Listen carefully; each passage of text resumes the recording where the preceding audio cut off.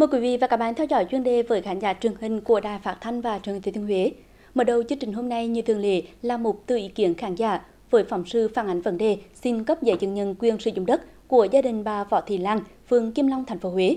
Tiếp đó, luật sư Nguyễn Văn Phước sẽ tư vấn pháp luật đối với trường hợp này. Cuối chương trình là phần giới thiệu pháp luật hàng tuần.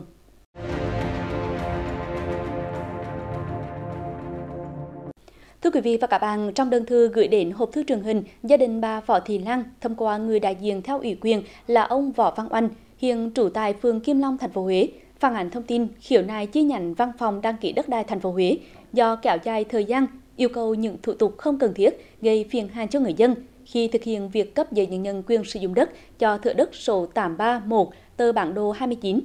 Trong khi đó, thửa đất này đã được tòa án xét xử và ban hành bản án phân chia cho bà Võ Thị Lan. Việc thi hành án cơ bản đã xong. Phóng viên chương trình đã tìm hiểu vụ việc và có những đề nghị chuyển đến Ủy ban nhân dân thành phố Huế qua phóng sự sau.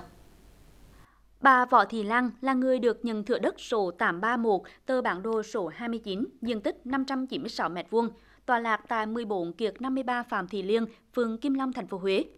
Nội dung này được thể hiện tại bản án số 08/2020 DSST ngày 6 tháng 10 năm 2020 của Tòa án Nhân dân tỉnh Thừa Thiên Huế về việc dời di sản thừa kế. Bản án số 08 đã có hiệu lực pháp luật cũng như đã được thi hành xong theo giấy xác nhận số 40 ngày 9 tháng 3 năm 2021 của Cục Thi hành án dân sự tỉnh Thừa Thiên Huế. Ngày 16 tháng 4 năm 2021, bà Võ Thị Lan nộp hồ sơ xin cấp giấy chứng nhận quyền sử dụng đất đối với thửa đất số 831 nói trên và được hẹn trả kết quả vào ngày 2 tháng 6 năm 2021. Tuy nhiên, đến ngày 30 tháng 6 năm 2021, gia đình bà mới nhận được thông báo về việc trả lại hồ sơ với lý do chưa thỏa thuận việc phân chia tỷ lệ đất ở giữa gia đình bà và gia đình ông Võ Thành Lân, người được tòa án giao thửa đất số 832 lân cận, cùng việc cung cấp một số giấy tờ kèm theo. Sau khi bổ sung những hồ sơ theo yêu cầu, ngày 15 tháng 11 năm 2021, đại diện gia đình nộp lại hồ sơ xin cấp giấy chứng nhận quyền sử dụng đất và được hẹn trả kết quả vào ngày 27 tháng 12 năm 2021.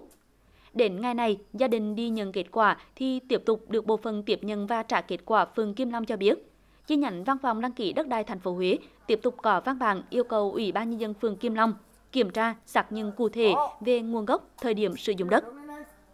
Cho đến tận thời điểm này, hồ sơ xin cấp giấy chứng nhận quyền sử dụng đất của gia đình bà Lan vẫn chưa được giải quyết do những yêu cầu của phía chi nhánh mà theo gia đình bà là vô lý, gây khó khăn, cản trở việc thực hiện quyền của người sử dụng đất. Nguyện vọng gia đình đề nghị văn phòng đăng ký đất thành phố Huế nhanh chóng cấp giải quyền sử dụng đất cho bà Võ Thị Lan. Bà Võ Thị Lan đã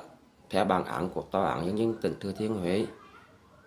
giải quyết các số tiền cho các đồng thừa kế. Nay bà Lan đã nạp hồ sơ được 8 tháng. Xin kính mong quý cấp có thẩm quyền giải quyết cho chúng tôi gia đình chúng tôi. Trao đổi thêm với đại diện Ủy ban nhân dân phường Kim Long, phóng viên được biết, sau khi tiếp nhận hồ sơ xin cấp giấy chứng nhận quyền sử dụng đất của gia đình bà Võ Thị Lan, Ủy ban nhân dân phường đã thực hiện đầy đủ các quy trình tại cấp xã theo quy định. Trong hồ sơ chuyển cho chi nhánh văn phòng đăng ký đất đai thành phố Huế, phía gia đình bà Lan đã ghi rõ nguồn gốc thửa đất số 831 là được tạm giao diện tích 596 m2 theo bản án số 08/2020 DSST ngày 6 tháng 10 năm 2020. Ủy ban nhân dân phường Kim Long cũng đã xác nhận làm rõ thêm về nguồn gốc, đó là được giáo phận nhà chung Thiên Chúa giáo cho bố mẹ bà Lan là ông bà Võ Văn Tiếp, Hoàng Thị Tâm sử dụng để làm nhà ở trước năm 1975, không có giấy tờ. Bà Võ Thị Lan được tạm giao diện tích 596 m2 theo bản án số 08/2020 DSST. Tuy nhiên, hồ sơ bị chi nhánh hoàn trả vào ngày 24 tháng 6 năm 2021 để đề nghị bổ sung các giấy tờ. Ủy ban nhân dân phường đã hỗ trợ gia đình thực hiện việc thỏa thuận phân chia diện tích đất ở cũng như các giấy tờ kèm theo. Dù gia đình đã bổ sung theo yêu cầu và nộp lại hồ sơ, nhưng ngày 27 tháng 12 năm 2021, đúng ngày hẹn trả kết quả cho người dân, thì Ủy ban Nhân dân phường tiếp tục nhận được công văn số 8312 do bà Đinh Thị Thu Hằng, Phó Giám đốc chi nhánh ký với nội dung đề nghị địa phương xác nhận cụ thể nguồn gốc và thời điểm sử dụng đất. thời điểm sử dụng đất có thuộc điều 22 và điều 23 của Nghị định 43/2014 của Chính phủ hay không.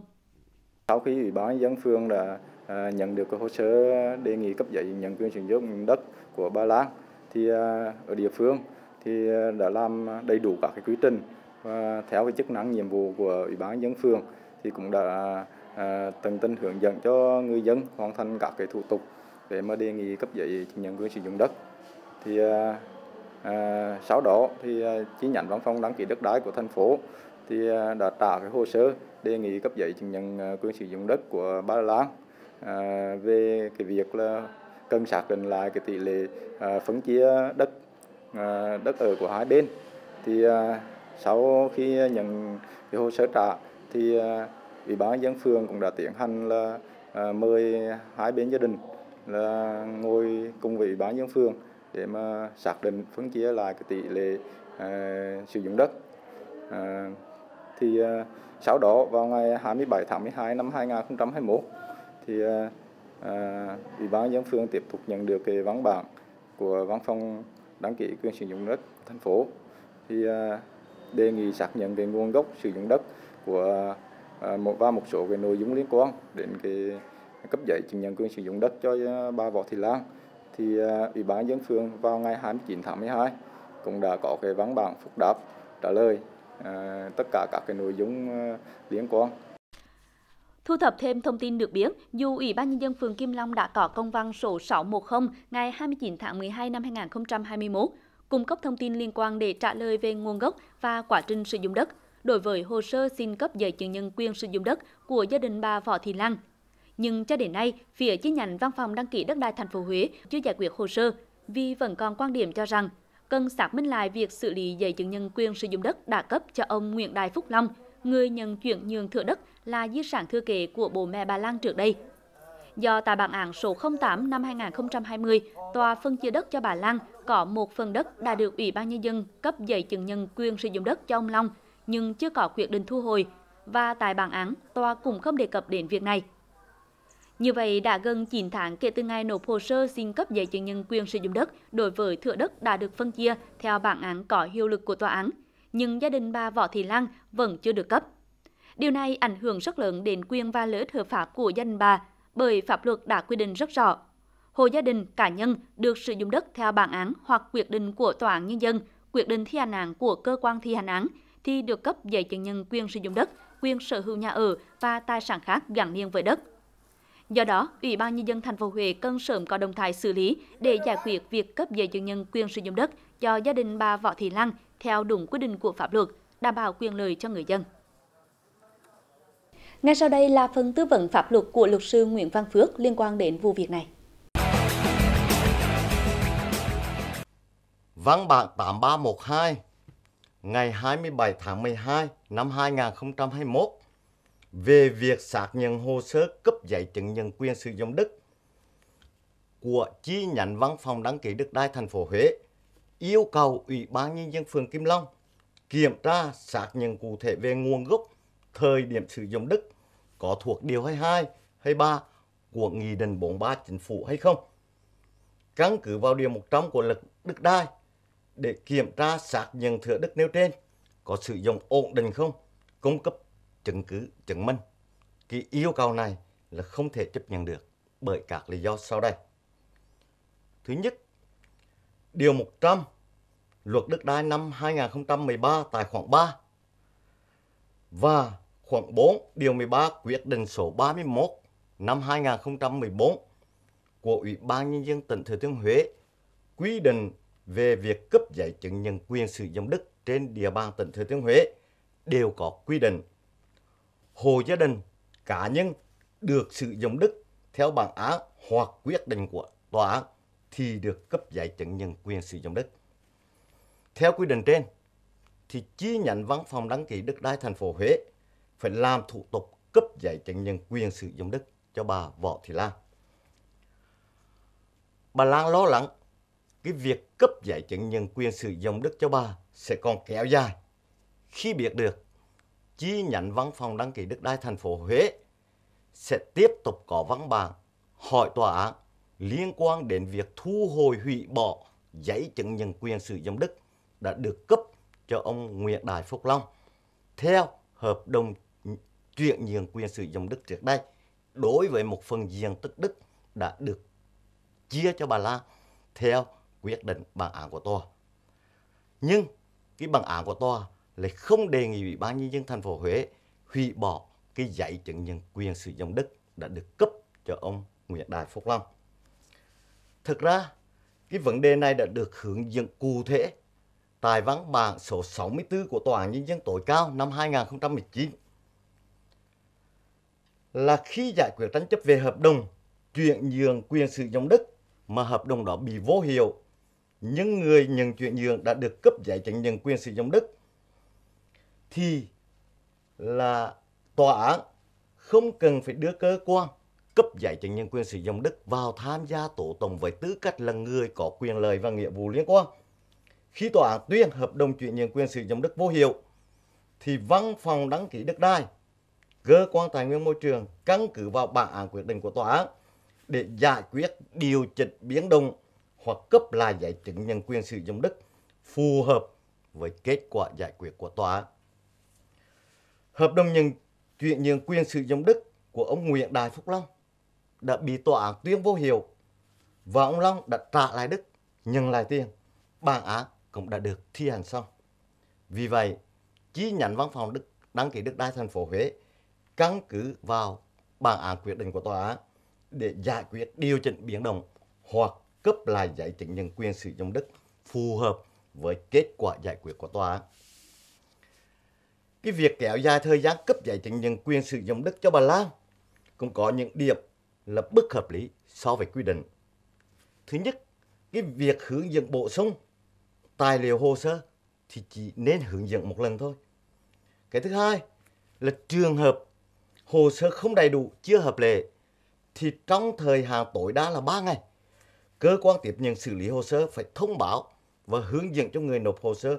bổ sung hoàn chỉnh hồ sơ theo quy định. Quay lại cái hồ sơ cấp giấy chứng nhận quyền sử dụng đất của bà Võ Thị Lan ta thấy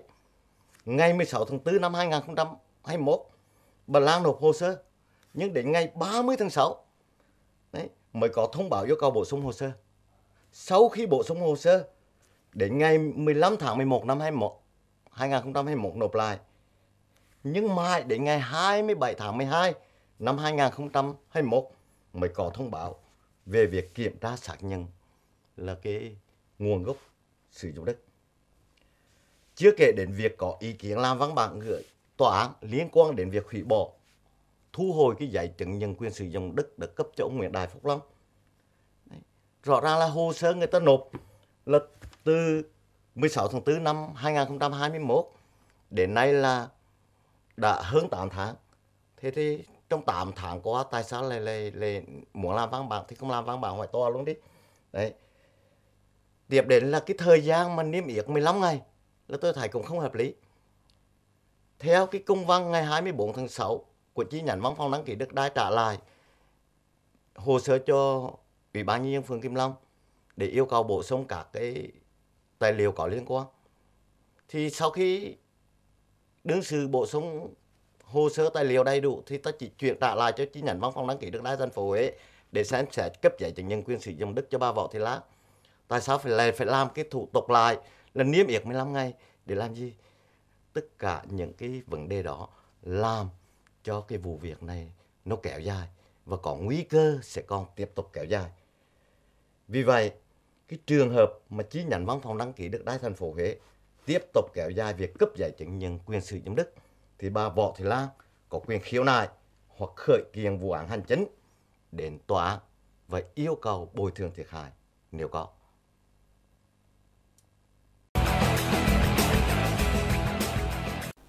Ngày 26 tháng 11 năm 2021, Chính phủ ban hành Nghị định số 103-2021 NDCP quy định mức thu lệ phí trước bạ đối với ô tô, rơ móc hoặc semi rơ móc được kéo bởi ô tô và các loại xe tương tự xe ô tô sản xuất lắp ráp trong nước. Theo đó, từ ngày 1 tháng 12 năm 2021 đến hết ngày 31 tháng 5 năm 2022, mức thu lệ phí trước bạ bằng 50% mức thu quy định tại Nghị định số 20/2019 NDCP ngày 21 tháng 2 năm 2019 của Chính phủ sửa đổi bổ sung một số điều của Nghị định số 140/2016 NDCP ngày 10 tháng 10 năm 2016 của Chính phủ về lệ phí trước bạ. Các nghị quyết hiện hành của Hội đồng nhân dân hoặc quyết định hiện hành của Ủy ban nhân dân tỉnh, thành phố trực thuộc trung ương về mức thu lệ phí trước bạ tại địa phương và các văn bản sửa đổi bổ sung thay thế nếu có.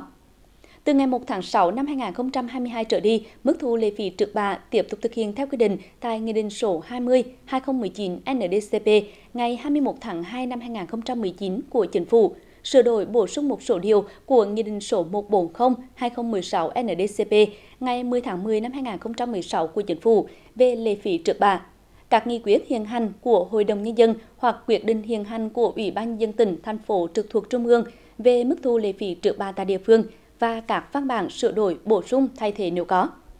Nghị định có hiệu lực từ ngày 1 tháng 12 năm 2021 đến hết ngày 31 tháng 5 năm 2022.